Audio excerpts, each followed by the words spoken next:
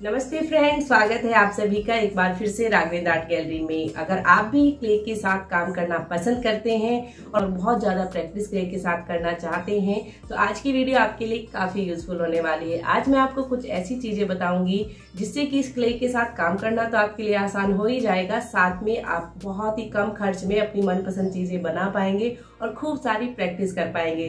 तो चलिए फ्रेंड्स जल्दी से वीडियो स्टार्ट करते हैं। क्ले बनाने के लिए सबसे पहले हमें लेना है इस तरह का कोई भी बाउल और उसके बाद मैंने लिया है स्टेनर और यहाँ पर मैंने दो ग्लास लिए हैं। आप कोई भी मेज़रमेंट के लिए कप वगैरह भी ले सकते हैं। बस आपको क्वांटिटी का ध्यान रखना है, जो मैं आपको आगे बताने वाली हूँ। आज हम यहाँ पर कुछ ऐसी क्ले बनाने वाले हैं, जो मोल्डेड क्ले की तरह काम करती है। तो मैंने उसके लिए यहाँ पर चौक पाउडर लिया है। आप किसी भी कंपनी का चौक पाउडर ले सकते हैं। बस इस तरह से बनाने से पहले अच्छे से उसको छान लें ताकि उसमें कुछ भी गांठे वगैरह हो तो वो निकल जाए। अब इसके बाद मैंने यहाँ पर लिया है फेविकोल एम आर यहाँ पर मैंने एक छोटे ग्लास में फेविकोल एम आर लिया है। जो भी क्वांटिटी आप ले रहे हैं, उसमें आपको एक पार्ट रखना है फेविकोल एम आर का। उसके बाद मैंने लिया है यहाँ पर एक टिश्यू पेपर जिसको कि मैंने छोटे छोटे से टुकड़े कर कर इसमें बहुत अच्छे से मिक्स कर लिया है।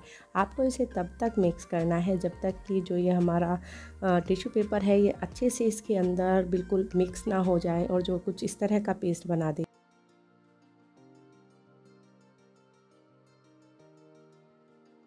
अब हमें लेना है यहाँ पर चौक पाउडर। आपको सेम वही चीज़ ध्यान रखनी है।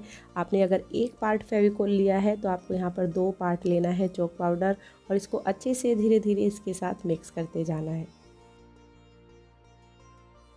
अब यहाँ पर इस तरह से पेस्ट बनने के बाद आपको जो दूसरा पार्ट है हमारी चौक पाउडर का, उसको भी इसमें ऐड कर देना है। अब यहाँ तक आपको बिल्कुल सेम प्रोसेस फॉलो करना है, लेकिन यहाँ पर आते हुए कई चीज़ें चेंज हो जाती हैं। कई बार कई बार वेदर का फ़र्क पड़ता है और कई बार किसी भी अलग क्वालिटी का अगर हम चौक पाउडर लेते हैं तो उसका।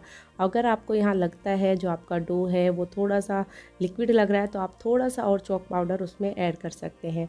अब इस तरह का कुछ आपको डो रेडी करना है और उसको इस तरह से बहुत ही अच्छे से मिक्स करते रहना है।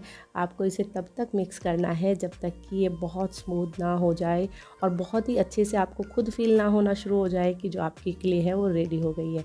अब ये देखिए कुछ इस तरह से आपकी जो क्ले है वो रेडी होगी। हमने इसमें यहाँ पर टिश्यू पेपर ऐड किया है।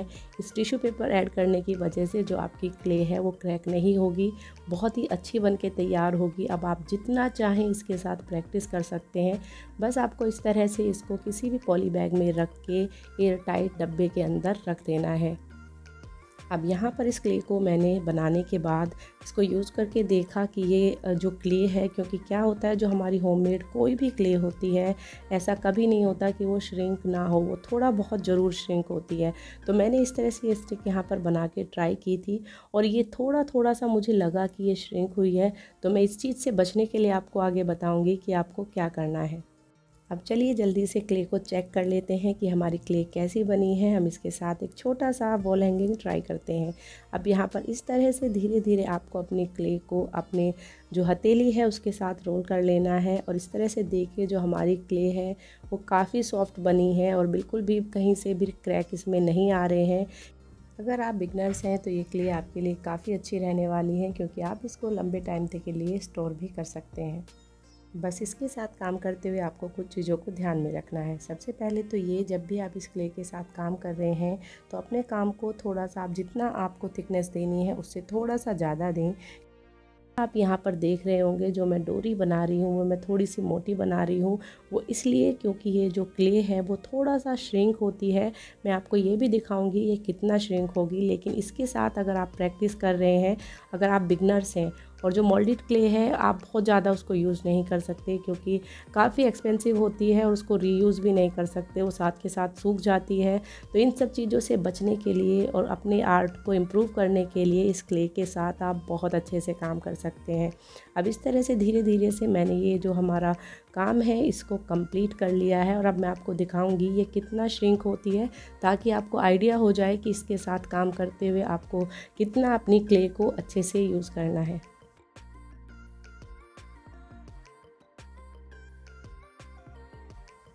अब यहाँ पर जो हमारा आर्ट वर्क है, वो एकदम ड्राई हो गया है। इसको ड्राई होने में थोड़ा सा ज़्यादा टाइम लगता है मोल्डेड क्ले से कंपेयर करें तो। उसके बाद यहाँ पर देखिए जो मैंने आर्ट वर्क बनाया था, उसमें थोड़ा थोड़ा सा गैप मुझे नज़र आ रहा है। इसका मतलब इतना परसेंट जो हमारी क्ले है, वो श्रिंक हुई है। तो इस चीज़ से आपको घबराना नहीं है, बस अपने आर्ट वर्क को उसी तरह से बनाना है कि अगर वो थोड़ा सा श्रिंक भी होता है तो उसमें कोई प्रॉब्लम ना आए।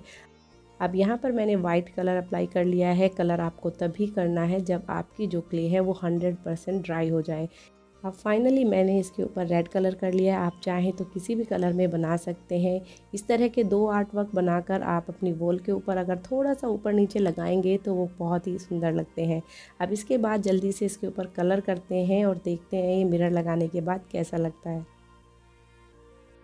वीडियो को अगर आपने यहाँ तक देखा है तो प्लीज़ लास्ट तक ज़रूर देखिएगा। आपके लिए मैं कुछ लेकर आई हूँ जिससे कि आप अपने आर्टवर्क को और भी इम्प्रूव कर सकते हैं। अगर आज की ये वीडियो आपके किसी भी काम आए और आपको यूज़फुल लगे तो प्लीज़ लाइक करिएगा और मुझे कमेंट करके ज़रूर बताइएगा। आप लिपन आर्ट पसंद करते हैं और आपके कुछ क्वेश्चन हैं या डाउट है तो आप मुझे कमेंट करिएगा। मैं सारे क्वेश्चन के जवाब अपनी नेक्स्ट वीडियो में ज़रूर लेकर आऊँगी। तो आज के लिए बस इतना ही फ्रेंड्स मिलते हैं नेक्स्ट वीडियो में। वीडियो अगर पसंद आए तो please like share and subscribe thanks for watching